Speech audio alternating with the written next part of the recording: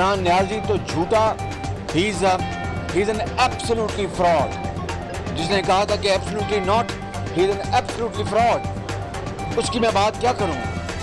जिसने absolutely not कहा, वो एब्सोल्युटली फ्रॉड है। शहबाज शरीफ की लफ्जी गोलाबारी हिटलर नाटसी था। इमरान न्यासी है। इमरान खान ने अपने हमारी स्पीकर के साथ मिलकर हिटलर वाला काम किया।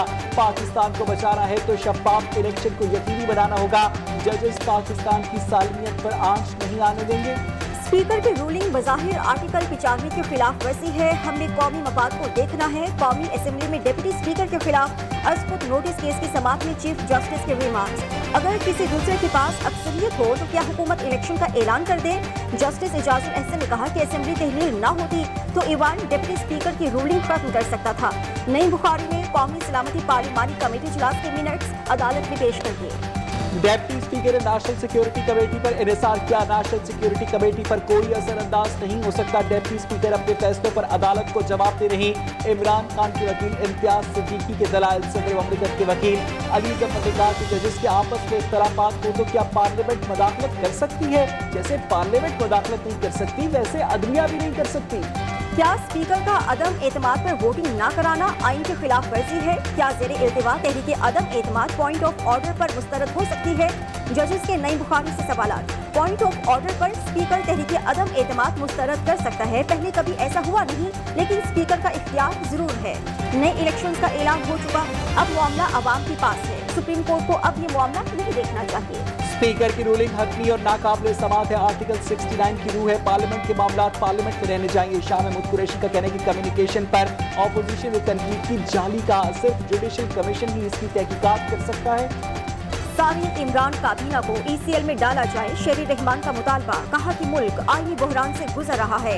इतवार से सब कुछ मुअत्तल है। इतना सियाह दौर तो हमने आमिर के दौर में भी नहीं देखा। क्या ये अदालत को धमकी दे रहे हैं? कह रहे हैं फैसला नहीं आया तो कुछ कर देंगे। सेनेटर फैसल जावेद का सवाल, जब इनके खिलाफ फैसला आए तो अदालतों पर हमले करते हैं। इन्होंने सुप्रीम कोर्ट पर हमला किया। हमारी इंतबात की तैयारियाँ उरूज पर हैं। आइन इन लोगों के लिए इंतहाई मामूली सी बात है। एडवोकेट जनरल पंजाब के सुप्रीम कोर्ट ने सूबाई असेंबली की सूरत हाल का दलाई। रात को एक होटल में एम पी एस ने हमजा शहबाज को वजर आला बना दिया। वो चौधरी सर्वर से आज बाग में हलफ लेने जा रही है। ब्यूरोक्रेट्स का भी इजलास बुला लिया। पंजाब के हवाले से कोई हुक्म नहीं देंगे मामला हाईकोर्ट में लेकर जाए कौमी असेंबली के केस से तवज्जो नहीं हटाना चाहते चीफ जस्टिस के रिमार्क्स। जस्टिस मजहर आलम ने कहा, कल पंजाब असेंबली के दरवाजे सील कर दिए गए थे। क्या असेंबली को इस तरह सील किया जा सकता है?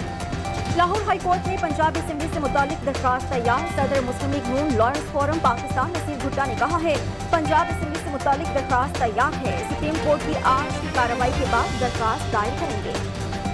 पंजाब असेंबली में सिक्योरिटी के सख्त इंतज़ाम पुलिस के पास खत्म दस्ते। पंजाब असेंबली के बाहर और अंदर तैनात असेंबली के तमाम दरवाजे बंद। असेंबली मुलाजमीन का गेट नंबर पाँच से दाखिला।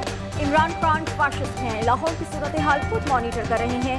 नून लीगी रहनुमा मोहम्मद जुबैर की मीडिया से गुफ्तु लाहौर, इस्लामाबाद में कोई हुकूमत नहीं। असद कैसे शामिल नहीं होना चाहते तो खुलकर बयान दें।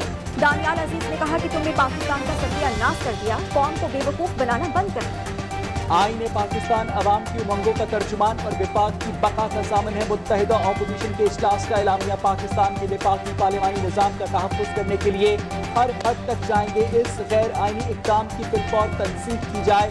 आइन पर हमला करने के जिम्मेदारों का तयन करके उन्हें मिसाली सजा देने का मुतालबा। ना पंजाब असम्बली का ऐवान स्पीकर, ना ही डिप्टी स्पीकर। हमजा शहबाज एक सौ निन्यानवे वोट देकर वजी अला पंजाब मुंतखब। पंजाब असेंबली का इजलास लाहौर के होटल में हुआ। मरियम नवाज़ भी हमजा की हिमायत में तकरीब में पहुँची। होटल का वजी अला बनने पर मुबारकबाद। मोने सिलाही का तंज। इमरान खान आइन में पाकिस्तान को लपेटने की कोशिश कर रहे इसके खिलाफ तहकीकत की जाए, आइन को मंसूख करने की किसी साजिश को कामयाब नहीं होने देंगे। तहरीक लब्बैक का तहफ़ आइन के लिए सड़कों पर आने का ऐलान हाफिज साद रिजवी ने कहा कि आइन पाकिस्तान के साथ किसी छेड़छाड़ पर वैसे ही रद्द अमल दिया जाएगा। हमारा पीपल्स पार्टी से कोई मुआहिदा नहीं, बल्कि वर्किंग रिलेशनशिप कायम हुआ है। एम क्यू एम पाकिस्तान के कन्वीनर खालिद मकबूल सिद्दीकी ने कहा है, अठारहवीं तरमीम को खत्म नहीं करना चाहते, बल्कि अठारहवीं तरमीम पर अमल करना चाहते हैं। बंदूक सेल्फ डिफेंस के लिए होती है, लेकिन किसी बंदर के हाथ देते तो खतरनाक है। चीफ जस्टिस इस्लामाबाद हाईकोर्ट के पीका तरमीमी ऑर्डिनेंस के खिलाफ दरखास्तों की समाप्त में रिमार्क सोसाइटी में अदम बर्दाश्त का ये मतलब नहीं कि ऐसे कानून बनाए जाए जिनका गलत इस्तेमाल हो सके।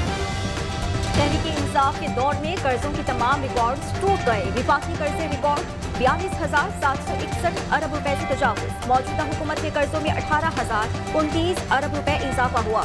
मुल्की कर्जे सैतालीस हज़ार सात सौ पाँच अरब बीस हज़ार छप्पन अरब बढ़े डॉलर ने रॉकेट की रफ्तार पकड़ ली। एक सौ अट्ठासी रुपए की सतह से तजावज इंटरबैंक डॉलर। आज एक रुपए सत्तासी पैसे महँगा, एक सौ अट्ठासी रुपए पे फरोख्त। सियासी बहरान का पाकिस्तान स्टॉक एक्सचेंज पर बी एस ट्रेडिंग के दौरान मंदी का रुझान।